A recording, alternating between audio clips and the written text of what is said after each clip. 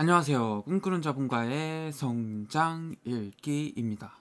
네, 오늘은 결혼에 대한 얘기를 해보려고 합니다. 왜 그런 사람과 결혼할까? 라는 책인데요. 여러분들은 결혼하셨나요? 결혼을 하셨다면 어떤 기준으로 배우자를 고르셨나요? 또 결혼을 안 하셨다면 어떤 기준을 가지고 배우자를 음, 결정을 하실 건가요? 뭐 많은 분들이 결혼이라는 굉장히 그 중대한 일을 가지고 신중하게 고민을 하실 것 같은데 오늘은 그 배우자의 기준에 대한 얘기를 한번 해보려고 합니다. 어, 여러분들은 그 결혼을 할 배우자 선택하는 데 있어서 그 외모, 외모를 어떻게 생각하시나요? 뭐 잘생긴 사람을 뭐 좋아할 수도 있고, 뭐 예쁜 사람 좋아할 수도 있고, 외모를 안 본다는 사람도 있죠. 어, 여러분들이 그 외모라는 그 비중을 얼마나 생각하시는지는 몰라도 그 배우자를 고려한 데 있어서 외모를 아예 안 본다는 거는 굉장히 어려운 일일 겁니다. 그럼 우리가 왜 외모를 볼 수밖에 없는지 그리고 그 외모를 보고서 배우자를 결정하는 일이 얼마나 합당한 일인지 오늘은 그 이야기를 해보려고 합니다. 결혼의 기준으로서 외모입니다. 어, 우리가 결혼을 기준으로서 뭔가 외모를 본다는 것은 크게 세 가지 이유 때문에 그런 것 같습니다. 첫 번째는 외모가 매력적인 상대방이 생식 능력이 우수한가라는 거예요. 그러니까 잘생기고 예쁜 사람이 뭔가 생식 그 능력이 더 뛰어난가, 뛰어날 거라 생각하기 때문에 우리는 외모를 본다라는 겁니다. 이건 뭐냐면은 진화론적인 측면입니다. 그러니까 우리가 그 사람의 뭔가 피부 상태라든지 뭐 머릿결 이런 걸 보면 이 사람의 건강 상태를 짐작해 볼 수 있잖아요.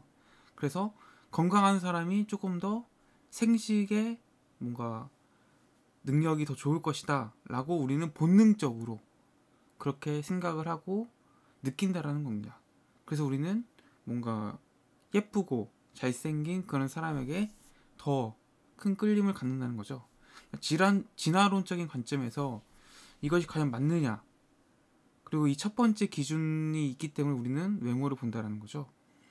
두 번째는 외모가 매력적인 상대방을 만나면 더 만족스러운 연애와 결혼 생활을 즐길 수 있을까?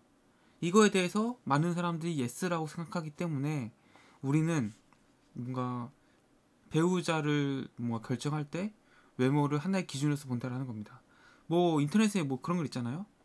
잘생긴 남편과 뭐 결혼을 하면은 화가 나도 얼굴을 보면 뭐 기분이 좋아지고 화가 저절로 풀린다고. 뭐 그래서 뭐 그 외모 잘생긴 남편 예쁜 아내 이거에 대한 굉장히 큰 뭐랄까요 그 선호도가 높은 편인데요. 뭐 그런 맥락에서 2번이라는 질문이 나오는 겁니다.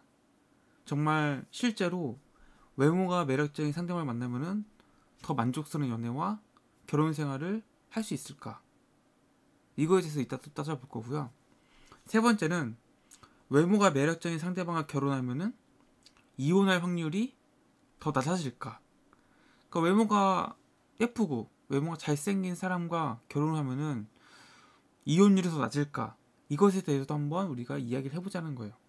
그래서 이 세 가지 문제 질문 여기에 대해서 우리가 하나하나 정말 그런지 따져보자라는 겁니다. 여러분 어떻게 생각하세요? 외모가 매력적인 상대방이 정말 더 생식 능력이 우수하다고 생각하시나요? 아니면은 외모가 매력적인 상대방과 뭔가 연애를 한다든지 결혼을 하면은 더 만족스러운 뭔가 연애와 결혼 생활 할 수 있을까요? 마지막으로 외모가 매력적인 사람과 결혼을 하면은 그 결혼 생활이 끝날 가능성이 더 낮아질까요, 정말? 이것을 한번 파헤쳐 보자라는 겁니다. 지금부터 하나하나 파헤쳐 보겠습니다. 첫 번째, 외모가 매력적인 상대방이 생식 능력이 더 우수한가? 이거에 대한 내용이에요. 어, 이 책에 따르면은 이렇게 얘기합니다. 외모가 생식 능력과 관련이 있다는 이론은 어느 정도 옳다라는 거예요. 그래서 뭔가 그 우리가 흔히 말하는 아까 제가 설명드렸던 그 진화론적인 측면에서 음 그게 허무 맹랑하지는 정말 않죠. 왜냐면은 뭐 피부가 정말 지저분한 사람은 딱 봐도 건강하지 건강하게 안 보일 수 있고 또 낯빛이 좋지 않은 사람은 우리가 그냥 느낌적으로 아, 이 사람은 좀 건강에 문제가 있구나라고 생각하기 쉽잖아요. 음, 마찬가지입니다. 그래서 이것은 어느 정도 옳다라는 거예요. 그러나 현대인의 데이트 환경에서는 외모에 대한 투자의 효용이 점차 감소하고 있다라는 겁니다. 그 이유는 생식 능력이 생기는 연령까지 살아남을 가능성이 거의 보장되어 있기 때문에 짝짓기의 성공 가능성을 높이는데 별 도움이 되지 않는다는 거예요. 이게 무슨 얘기죠, 이게? 그러니까 외모가 조금 안 좋아 보여도 그 생식 능력이 생기는 연령, 까지뭐 살아남을 가능성이 현대 사회에서는 크게 차이가 나지 않는다는 거예요. 뭐 좀 아프면 병원 가면 낫잖아요. 그렇죠? 그렇기 때문에 뭐 현대 사회에서는 그렇게 외모와 이 생식 능력이 큰 그 관련성이 없다. 뭐 과거에는 그럴 수 있었지 몰라도 지금 우리 사회에서는 그렇지 않다는 거예요. 또 펜실베니아 대학교의 제이슨 위든 그리고 존 사비니 교수는 외모와 생식 능력 사이에 별 연관관계가 없다는 사실을 밝혀냈습니다.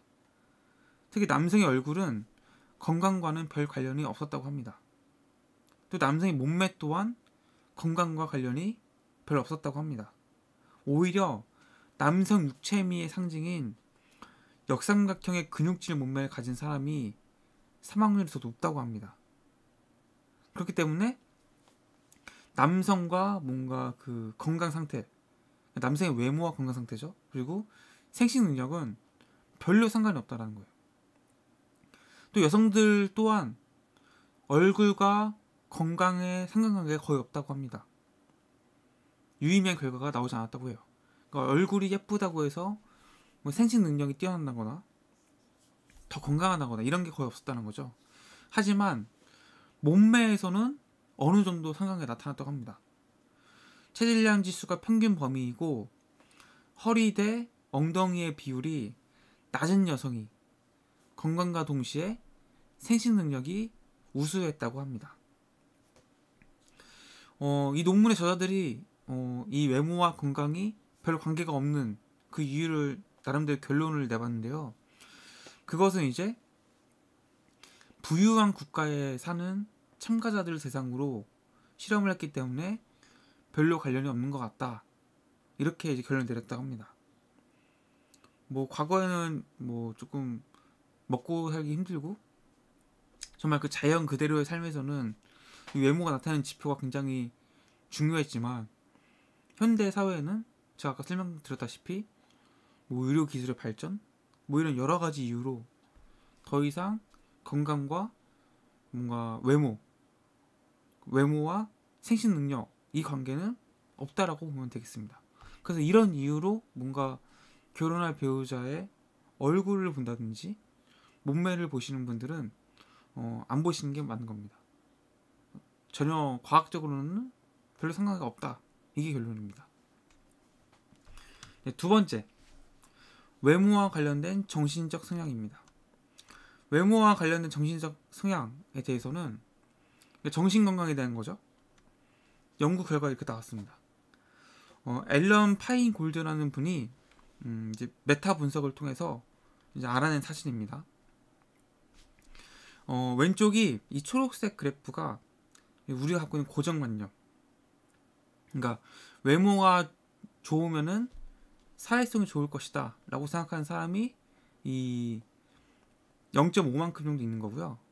그리고 외모가 좋을수록 정신 건강이 좋을 것이다 라고 생각하는 분들이 한 0.38 정도 그리고 외모가 좋은 사람이 그 지력 그 지력 머리가 좋을 것이다. 이거는 0.32 정도. 그리고 외모가 좋은 사람이 사회적 순환이 뛰어날 것이다. 이거는 한 0.7 정도 되네요. 상관관계가. 근데 이거는 우리가 갖고 있는 고정관념이에요. 우리가 외모에 갖고 있는 고정관념이고 실제 현실이 어떠냐 봤더니 거의 관련이 없습니다. 이 조금 진한 검은색처럼 보이는 이 그래프가 이제 그 그래프들인데요. 보시면은 보세요.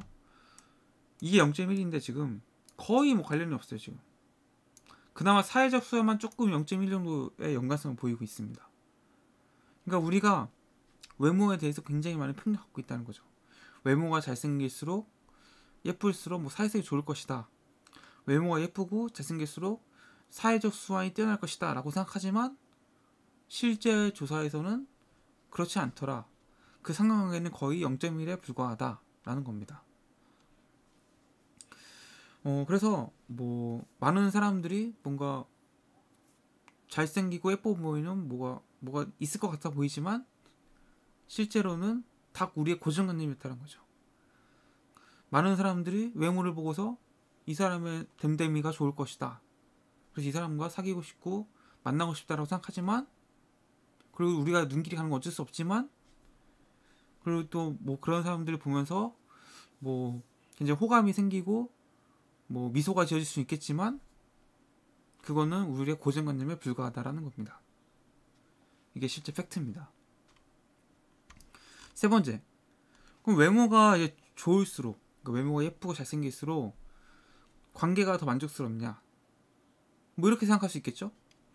뭐 매일 아침 일어나서 상대방의 아름다운, 뭔가 예쁘고 잘생긴 얼굴을 보고서 이렇게 생각할 수 있죠. 아, 이렇게 아름다운 사람과 함께 아침을 맞이하다니, 아, 행복하다. 뭐 이렇게 생각할 수 있겠죠. 또 우리가 특히 뭐 인터넷에서 많이 볼 수 있는 뭐 잘생기고 예쁜 사람을 만났을 때 좋은 점들이라는 거죠. 어, 과연 근데 이게 맞냐 했을 때 외모가 관계의 만족도에 어떤 영향을 미치는지 연구한 사례는 찾아보기 힘들다고 얘기하고 있습니다. 하지만 이 책 저자가 검색한 얼마 안 되는 사례에 따르면은 모든 증거를 감안하더라도 외모와 만족도 사이에는 믿을 만한 상관관계가 전혀 보이지 않는다는 거예요. 테네시 대학의 제임스 맥널티 팀에서 최근 수행한 가장 엄격한 연구에서 80 이상의 신혼부부를 상대로 배우자의 외모를 평가해보러 주문했습니다. 그리고 객관성을 확보하기 위해서 이들을 전혀 모르는 조교들에게 똑같은 평가를 해달라고 요청했습니다. 외모를 평가해달라는 거죠. 실험 결과 부부의 외모와 관계의 만족도 사이에는 아무런 관계가 없다는 것이 밝혀졌습니다. 이걸 다르게 말하면은 아름다운 사람이 그렇지 못한 사람에 비해서 더 만족스러운 이성 교제를 즐기는 것이 아니고요. 아름다운 상대방을 만나는 사람들이 평범한 사람 사람을 만나는 사람들에 비해서 뭔가 더 만족스러운 관계를 즐기는 것도 아니라는 겁니다. 그러니까 즉 외모와 그 만족도 사이에는 아무런 관계가 없다라는 게 맥널티 팀의 연구 결론입니다. 오히려 좀 유의미한 그 결론을 나온 사례에서 뭐냐면은 외모가 출중한 남성이 결혼 생활에 느끼는 만족도가 오히려 더 낮았다라는 겁니다. 그러니까 잘생긴 남자의 잘생긴 남자가 느끼는 결혼 생활에 대한 만족도 이게 낮게 나오더라는 거죠. 그 외에는 뭐 주목할 만한 유의미하게 보이는 결과가 아무것도 나오지 않았다. 이 얘기는 뭐야? 이 얘기는 뭐냐면은 잘생기든 못생기든 그거는 결혼 그 생활의 만족도와는 관련이 없다라는 겁니다. 네, 네 번째는 이제 외모와 안정적인 관계. 뭐 잘생긴 사람과 뭐 결혼하면은 혹은 예쁜 사람과 결혼하면은 내가 조금 더 안정적인 관계를 가져갈 수 있을까? 혹은 못생긴 사람과 결혼을 하면은 내가 조금 더 안정적인 관계를 가져갈 수 있을까라고 했을 때 역시 이것도 마찬가지로 어, 관계의 안정성에 외모가 기여한다는 것은 아무런 증거나 이론도 현재 시점에서는 존재하지 않는다는 겁니다. 그러니까 우리가 이제 외모에 대해서 결혼을 할 때 상대방의 외모를 많이 보시는 분도 많고 중요하게 생각하잖아요. 근데 이 외모가 미치는 영향이 실질적으로는 거의 없다라는 거예요. 다 우리의 잘못된 고정관념이나 편견에 불과한 거지 실질적으로는 뭐 아무것도 없었다. 이게 이제 팩트가 되는 겁니다. 그래서 어 사실 그럼에도 불구하고 본능적으로 외모에 호감이 생기고 외모가 좋은 사람에게 눈길이 한 번 더 가는 거는 어쩔 수 없는 것 같아요. 하지만 우리가 이 책을 읽으면서 뭔가 느껴야 되는 건 뭐냐면은 행복한 결혼 생활, 행복한 뭔가 상대방과의 관계 이런 거는 외모와는 크게 상관없다. 그래서 결정을 할 때 이 사람이 뭐 외모적인 이유로 너무 끌린다거나 혹은 내가 막연하게 난 외모가 굉장히 중요하다 생각해라고 생각한다면은 조금 생각을 달리 해볼 수는 있을 것 같다라는 게 우리가 이 책을 보고서 뭔가 느낄 수 있는 것들이었습니다. 네, 그래서 오늘 이렇게 결혼과 외모의 관계 뭐 이런 거 한번 얘기해 봤는데요. 음, 도움이 되셨다면은 순장 읽기 구독과 좋아요 눌러주시면 감사하겠습니다. 저는 내일 또 새로운 책을 가지고 여러분 앞에 찾아뵙도록 하고요. 어, 오늘도 행복하고 즐거운 하루 되셨으면 좋겠습니다. 고맙습니다.